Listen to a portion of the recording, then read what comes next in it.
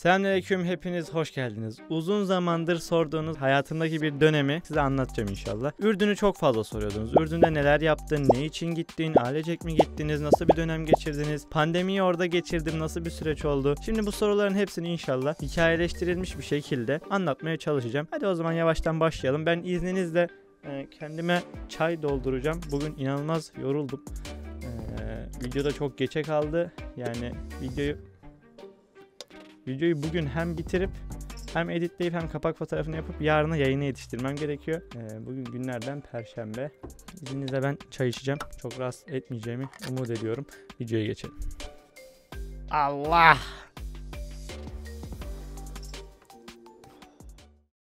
Evet, öncelikle biz Ürdün'e 2018 dönemlerinde gittik. E, ayını hatırlamıyorum ama 2018 yılında gitmiştik. Ailecek gittik ve benim 7. sınıfıma denk geliyor. 7. sınıfı orada okuyacaktım. Ve hedefimiz şuydu. Ailecek gidelim. E, orada Arapça öğrenelim. Arapçamızı geliştirelim. Hem de işte oradaki okul sisteminde İngilizce eğitim falan buraya göre çok daha iyi. Hem daha temiz, nezih bir ortamda yetişelim.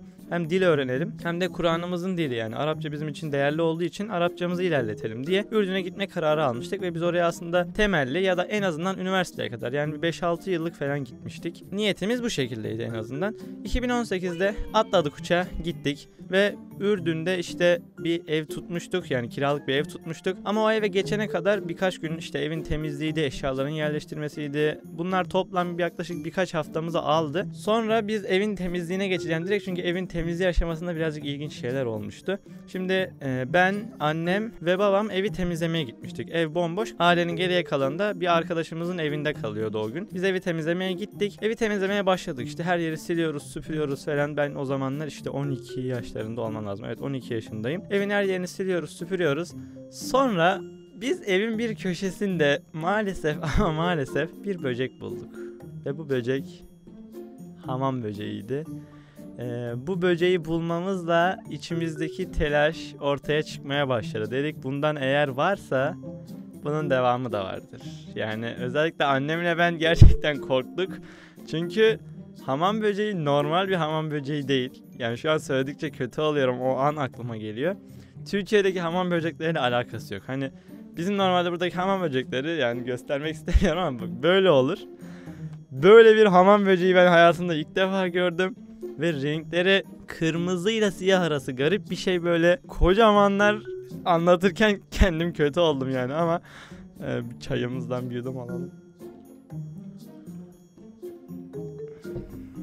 Sonra dedik kesin vardır. Ya bir tane varsa onlar çünkü kesin devamı vardır. İşte ama evin neresinde o önemli. Neyse temizlemeye devam ediyoruz. Allah'ım temizlerken bir anda evin içinde bir tane daha bu sefer koşarken gördük. Tamam bu kadar kötü bir şey olamaz ama hepimiz böyle kaçıyoruz. Bir tek babam yani korkmuyor ama ben çok korkuyorum. Annem zaten çok korkuyor. Onu da görünce artık dedik tamam bunlardan var ama neresi? Sonra bunların banyodan geldiğini tespit ettik. Yani tam arada bir tane banyo vardı. O aradaki banyodan geldiğini tespit ettik. Ama tabi banyonun neresinden olduğu da çok önemli. Sonra banyodan böyle birkaç tane daha çıkmaya başladı ama ben şu an anlatırken çok kötü oldum. Dediğim gibi kocamanlar yani dev gibiler ve iğrençler. Gerçekten renkleri, boyları her şeyi iğrenç böyle koşuşları ve çok da hızlılar. Neyse biz sonra banyoda onun nerede olduğunu bulduk. Şimdi banyonun kapısını düşünün. Çerçevesi var ya. Banyonun içeri taraftan çerçevenin üstündeki delik. Yani çerçeveyle beton arasına girmişler ve o betonun içini artık siz düşünün. Ee, bu kapı ya. İçeriye girdik banyoya. Banyonun içine girdik. Şuradalar. Tam çerçevenin içine beton arasına yapmışlar yuvalarını. Çok fazla varmış. Bizim on ne zaman haberimiz oldu? Şu şekilde oldu. Biz şimdi dedim ya ailenin geri kısmı başka bir arkadaşımızın evinde kalıyordu. Dedik böyle böyle işte ilaç var mı şey var mı dedi ki bende deli dehşet bir ilaç var. Çünkü bizim dükkanda da buna benzer bir şey olmuş dedi. O ilacı dökelim hiçbir şey kalmaz dedi. Sonra ya o gün ya da ertesi gün onu tam hatırlamıyorum. Abi ilaçla geldi. Dedi şimdi ben bunu oraya sıkacağım. Hani yuvayı tespit ettik. Ama bunu sıktıktan sonra bunlar e, hemen ölmüyorlar dedi o şey, zehirin etkisiyle yavaş yavaş ölüyorlar ve zehirlendiklerinde de etrafa koşuşturmaya başlıyorlar dedi.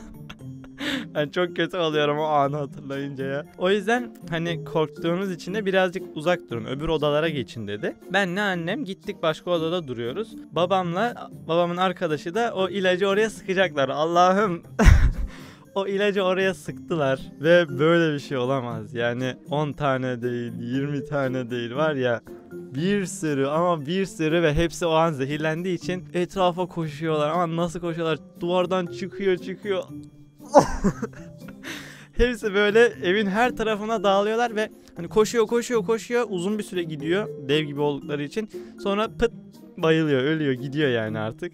Sonra bunlardan e, birkaç tanesi annem de benim olduğum odaya girdiler kapının altından. Bir tanesi tavana tırmanmaya başladı. Öbürü başka bir yere koşuyor. Biz ama nasıl bağırıyoruz anlatamam. Sonra zaten onlar içeride öldü ama çok kötüydü. Bu şekilde evdeki böcekleri temizlemiş olduk. Tabii bu e, bende birazcık travma olarak kaldı yani. Artık mesela şu an bacağım falan kaşınmaya başladı.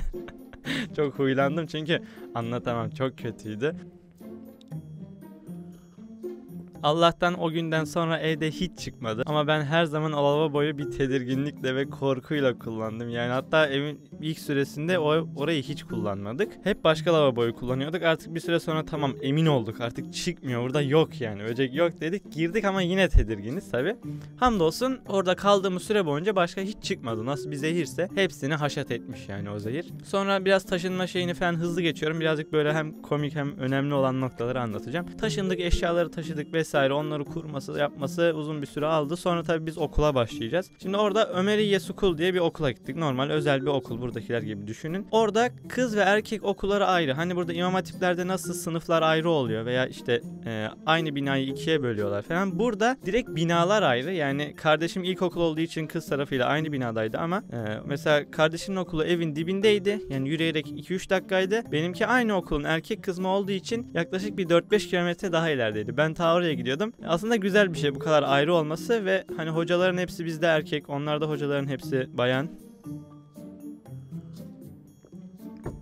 Bu aslında mahremiyet açısından bayağı güzeldi. Bizim hoşumuza gidiyordu elhamdülillah. Neyse okula işte başladık. Tabi birkaç gün e, alışması birazcık zor oldu. Çünkü herkes Arap. Ya daha önce böyle bir geçmişim olmuştu. Arap okullarında okumuştum ama direkt herkesin Arap olması, dışarıdaki bakkaldan e, oradaki müdüre kadar öğrenciler herkes Arap olduğu için biraz alışması uzun sürdü. Çok da uzun sürmedi aslında. Birkaç gün içinde alıştım ama garip bir histi yani. Tabi birazcık zor geldi ilk başlarda. Bir yerden sonra da zevkli olmaya başladı. Mesela okuldaki herkes yani bizi görür görmez şey yapıyordu böyle.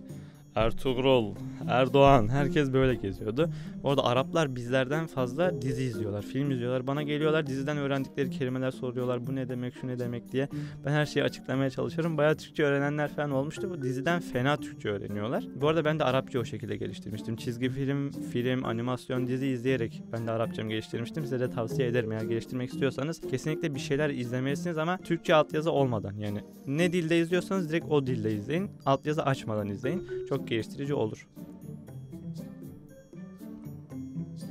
Sonra orada işte okul devam ettirdik. Tabii benim Arapçam birazcık daha gelişmeye başladı konuşma açısından, anlama açısından. Çünkü Arapça fen görüyoruz, Arapça matematik görüyoruz yani. Arapça her şeyi Arapça görüyoruz. Herkes Arap bakkala gidiyorsun Arap. İster istemez bir şekilde gelişiyor. Tabii oranın İngilizcesi de çok iyi olduğu için benim İngilizcem de çok kötü olduğu için e, bayağı zorlanmıştım İngilizce dersinde ama orada kısa bir süre okumamıza rağmen gerçekten İngilizceme de katkısı olduğunu kesinlikle söyleyebilirim. İngilizce eğitimleri de çok iyiydi oranın. Şimdi biz neden geri döndük? Birazcık o tarafa doğru gidelim.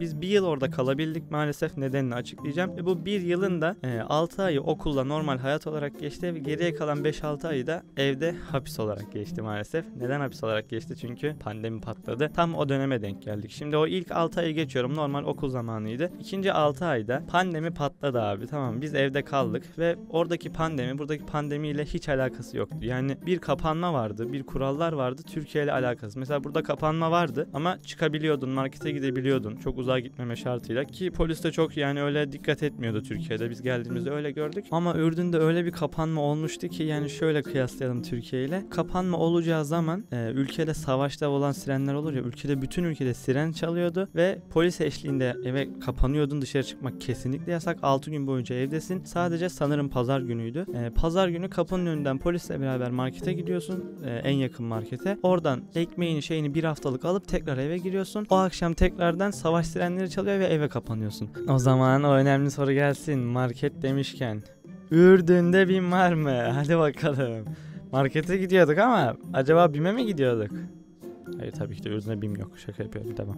Ben toplasanız 5-6 ayda sadece birkaç kere dışarı çıkmışımdır. O da böyle işte ekmek almaya ve en yakın markete gitmeye yani. Bir tek bu son bir ay falan birazcık daha gevşemeye başlamıştı son zamanlarda. İşte o zamanlarda kardeşin okulu yakın olduğu için okul bahçesinde basketbol, futbol falan oynayabiliyorduk. Biraz o rahatlatmıştı ama bir 5 ay boyunca falan biz full evdeydik ve okula da gitmedik. Okul açısından aslında kötü oldu çünkü biz aslında okula gitmek için yurt dışına gitmiştik dil öğrenmek için. Eve tıkanınca birazcık o açıdan kötü oldu ama ilk dönemi iyi değerlendirdiğimiz için hamdolsun.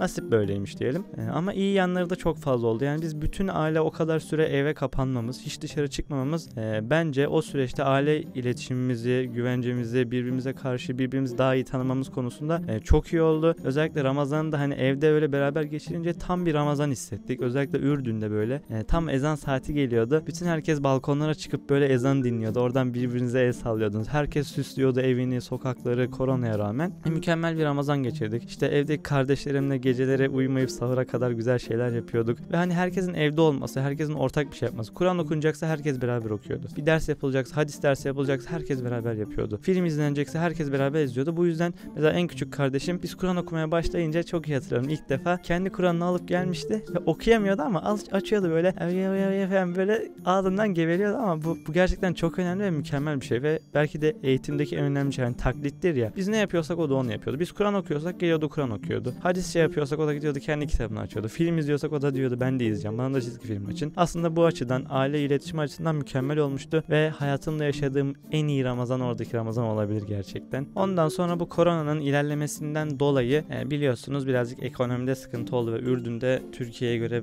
pahalı bir ülke. Şu anda dolardan para birimi daha yüksek ve çok pahalı bir ülkeydi. Malum koronada da eve tıkanınca babamın yapacağı işler tam olarak olmadı. Maddiyat sıkıntısı olunca da mecbur ülkeye döndük. Aslında ülkeye de bir süre dönemedik. Hani uçak da yoktu. Sadece tahliye uçakları vardı. O da birkaç ayda bir. O tahliye uçaklarında birkaç tanesine binemedik. Doluydu kaçırdık. En son bindik. Dediğim gibi böyle bir yılımızı Ürdün'de geçirmiş olduk. Elhamdülillah bana çok fazla şey kattı. Hem aile açısından hem dil açısından hem tecrübe açısından. Buradan aileme çok çok teşekkür ediyorum. Belki yüzlerine böyle söyleyememişizdir bilmiyorum ama Allah onlardan razı olsun. Yani hayatımıza verdikleri kararların hemen hemen hepsinden memnunum. Allah da onlardan razı olsun. Onları cennetine alsın inşallah. Umarım onlar da benden razıdır. Eğer yine bu konuyla alakalı merak ettiğiniz başka sorular varsa dil açısından, Ürdün açısından veya hayatın başka zamanlarıyla alakalı bir sorunuz olursa, bir konu olursa yoruma yazın. Ben onu hemen bu da geçti serisine bir hikaye şekilde size anlatmaya başlayayım inşallah anlatayım. Bu seri güzel oluyor. Hem muhabbet ediyor oluyoruz. Mesela şimdi çayımızı aldık geldik siz de alın. Bu şekilde muhabbet edelim. İşte haftada bir böyle bu da geçti atarız. Haftada bir de dertleşiriz, güzel konular konuşuruz bir önceki videomuz gibi. Elhamdülillah bu şekilde devam etmeye çalışırız. Gerçekten bugün bu videoyu çok zor çektim. Yani hem çok yorgundum hem çok geçe kaldı. Kaldığım yerle alakalı birazcık hareketlilikten dolayı çekemedim. İnsanların dağılmasını falan bekledim. Ama elhamdülillah videoyu şu anda bitirdim. Hemen edite geçeceğim. Ne olur siz de bu videoyu beğenin. Kanala abone olun. Yorum yazın. Bir sonraki videonun konusunu yazın. Ben de onu çekeyim inşallah beğenirsem. Arkadaşlarınıza yollayın. Ne olur. Desteğe ihtiyacım var. Siz destek verin ki ben motive olayım ve daha çok video üretebileyim. Hepiniz Allah'a emanet olun. Selametle.